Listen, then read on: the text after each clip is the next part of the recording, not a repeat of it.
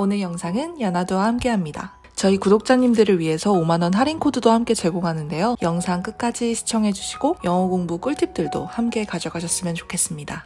그만큼 한국에서 가르치는 문법, 독해 위주의 영어가 저는 정말 싫었어요. 앞으로 살면서 필요한 거는 영어 회화다. 본격적으로 영어 회화 공부를 시작을 했을 때 제가 다 해봤는데 절대 하지 마세요. 우리 모두 영어 잘하고 싶잖아요. 적어도 10단계는 끌어올리셨으면 좋겠습니다.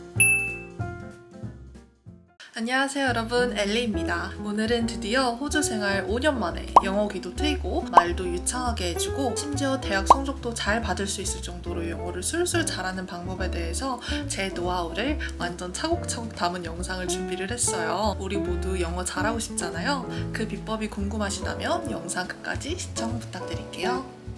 먼저 호주 오기 전 20살 때부터의 영어 실력부터 말씀을 드리자면 저는 수능 영어는 5등급, 4, 5등급 정도 받은 것 같고요. 그만큼 한국에서 가르치는 문법, 독해 위주의 영어가 저는 정말 싫었어요. 또 공부해도 잘 안 되니까 흥미도 너무 떨어지고 그래서 공부가 잘 안 되더라고요. 이랬던 제가 본격적으로 영어 공부를 마음 잡고 시작한 거는 호주 오기 한 3개월 전부터였는데요. 그때부터는 영어 공부의 자율성이 어느 정도 주어지잖아요. 그래서 이때는 제가 앞으로 살면 서 하면서 필요한 거는 영어 회화다 싶어가지고 영어 회화 공부를 하기 시작을 했습니다.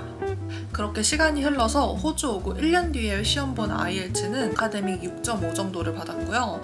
그 이후에 대학 입학을 위해서 봤을 때는 아카데믹 7.5 그리고 거만학과 편입 전에는 제가 PT를 봤었거든요. 그래서 PT를 봤는데 그거는 78 정도가 나왔습니다. 이 정도가 대략 영어 시험을 기준으로 했을 때 실력 변천사고요. 영어 회화만을 보았을 때는 저는 호주에 처음 왔을 때는 아직도 기억이 나는 게 카페에서 커피를 어떻게 주문을 해야 되는지 몰라가지고 카페 앞에서 들어가는 게 무서워서 막 서성했던 기억이 나요. 그 정도로 영어 실력에 자신감이나 아니면 실력이 아예 없었어요. 지금은 호주 사람들 사이에서 의사소통하는 데는 전혀 문제가 없을 정도이고 특정한 법이나 뭐 경제 분야 아니면 일상생활 대화는 90%에서 95% 정도는 다 알아듣습니다.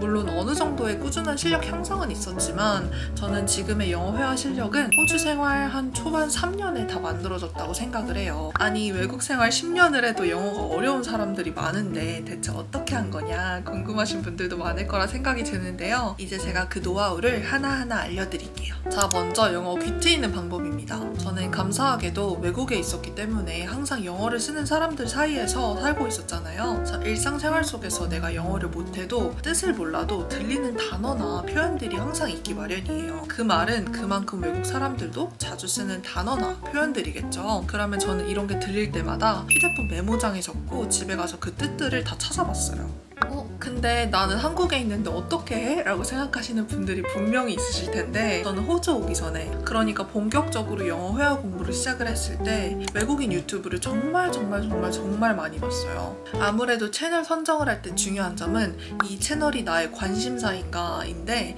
나 영어 공부하니까 테드토크나 아니면 영국 BBC 뉴스 이런 거 봐야지 하시는 분들 제가 다 해봤는데 절대 하지 마세요. 길어봤자 일주일 정도 가고 다 포기하게 되더라고요. 저는 일상 브이로그를 되게 좋아해가지고 브이로그 중심의 채널을 운영하시는 분들을 주로 봤고요. 이 채널이 내 흥미를 계속적으로 유발을 하는지 내 관심사여야 하는 게 영어 공부가 작심 3일 아니면 작심 일주일로 끝내지 않는 꾸준함의 핵심이라고 생각을 합니다. 처음에는 당연히 자막을 켜고 봤고요. 어려운 표현은 skip을 하고 정말 간단한 표현들부터 차근차근 내 것으로 만든다 생각하고 따로 정리를 시작을 했습니다. 이렇게 하루에 다섯 개면 다섯 개 아니면 열 개면 열 개 따로 정리한 표현들을 저는 포스트잇에다 적고 집에서 가장 많이 가는 곳들 그리고 틈틈이 볼 수 있는 곳에다가 붙여놓았어요. 전 그만큼 영어 듣기를 잘하기 위해서는 다양한 표현들이 익숙해져야 한다고 생각을 했어요. 이런 것들이 또 차곡차곡 쌓이다 보면 어느새 내가 아는 표현들이 정말 많아져서 한 달 뒤, 6개월 뒤 또 외국에서 일상생활을 할 때 또 유튜브를 볼 때 내가 몰랐던 표현들이 또 들리기 시작을 하고 결국에 결국엔 여러분들이 일정 경제에 오르시면 자막 없이 유튜브를 보는 날이 당연히 올 거라고 저는 생각을 합니다. 자 다음으로 이제 입이 트이는 방법은 앞에 제가 말씀드린 귀 트이는 방법들과 이어지는데요. 내가 앞서 정리한 표현들을 내 것으로 만들었으면 무조건 직접 써보셔야 돼요. 왜 한국에서 수능 영어 1, 2등급 받는 분들도 막상 영어를 써야 하는 환경이 되면 입이 떨어지지 않는 것처럼 머리로만 아는 것이랑 내가 실제로 말을 할 수 있게 되는 거랑은 아예 달라요. 그리고 한국말과 영어는 혀를 쓰는 위치 그리고 각각 언어를 구사할 때 움직이는 입 모양 구조가 아예 달라서 꾸준한 연습만이 살 길이라고 생각을 합니다.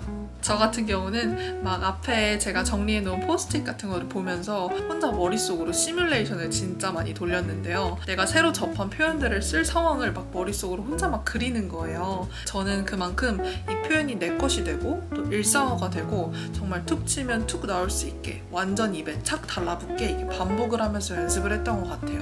이뿐만 아니라 밖에 나가서도 최대한 영어를 사용하려고 노력을 했는데 예를 들어서 어디 매장에 갈 때 일부러 직원한테 말도 걸어보고 small talk도 많이 하려고 노력을 많이 했어요. 여기서 아니 그래 넌 호주에 있잖아. 그러니까 영어 쓰고 싶을 때 매일 쓰면서 연습을 할 수 있지 라고 생각하시는 분들 분명히 계시죠? 제가 한국에 있었을 때는 홍대에 일주일에 한 번씩 영어 스터디에 다녔는데요. 제가 다녔던 곳은 외국인 한 명을 중심으로 학생 6명 정도로 이루어져 있어서 매주 주제를 정하고 프리토킹을 하는 스터디였어요. 근데 이 정도도 저는 speaking을 연습을 하는데 충분히 도움이 많이 되었다고 생각을 합니다. 지금 5, 6년 전 얘기인데 요새는 저도 한국에서 취업 준비하는 친구들한테 물어보면 이런 영어 스터디들도 훨씬 많아졌더라고요. 한국에 계신 여러분들도 조금만 찾아보면 이런 좋은 기회들 금방 찾으실 수 있으실 거라 생각이 듭니다.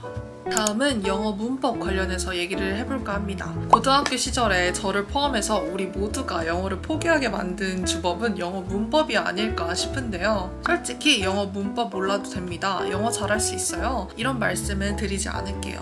우리가 한국어로 얘기할 때 문법 구조 생각하고 얘기를 하지 않잖아요. 밥 먹었어? 라고 말하는 게 그냥 입에서 자연스럽게 나오는 이유가 어렸을 때부터 자연스럽게 접하고 또 살면서 그만큼 매일 쓰는 언어니까 문법 구조를 생각하지 않아도 잘할 수 있는 거라고 저는 생각을 하거든요. 반면에 여러분들이 외국어를 배울 때에는 기본적인 문법 정도는 아셔야지 앞서 말한 귀 트이는 방법 또 말 트이는 방법을 여러분들이 실제로 적용을 해서 쓰실 때에도 더 많은 효과를 낼 수 있다고 저는 생각을 해요. 마치 통나무 집을 만드는데 이미 다 잘려서 정돈돼 있는 통나무로 집을 만드느냐 아니면 숲에 들어가서 나무를 찾고 또 톱으로 베어서 집을 짓느냐의 차이라고 생각을 해요. 물론 영어 문법을 몰라도 영어를 배우실 수는 있어요. 여러분들이 영어만 쓰시면서 마치 아기들이 언어를 배우는 것처럼 최소 10년 이상 사시면요. 하지만 우리한테는 그런 시간이 없죠. 하루 종일 영어 공부만 붙잡고 살 수 있나요? 문법을 몰라서 막막하신 분들, 또 어디서부터 영어 회화 공부를 시작을 해야 할지 모르시는 분들을 위해서 제가 좋은 영어 공부 사이트를 추천해 드리려고 합니다. 제 채널의 첫 콜라보는 야나드와 함께하게 되었는데요. 영어 공부 관련 영상 요청이 진짜 많았던 만큼 더 빨리 영상을 올릴 수도 있었지만 야나두를 저도 꼼꼼하게 살펴보고 제가 직접 체험을 한 후에 여러분들께 진짜 후기를 말씀드리고 또 추천을 드리고 싶었어요. 한국에 계신 분들은 야나두 모르시는 분들 없으시죠? 저는 야나두 10분 영어 패키지를 약 7주 동안 사용을 하였고요. 대략 250개의 강의를 들었습니다. 지금부터 야나두 찐 수강 후기를 하나하나 말씀을 드려보도록 할게요.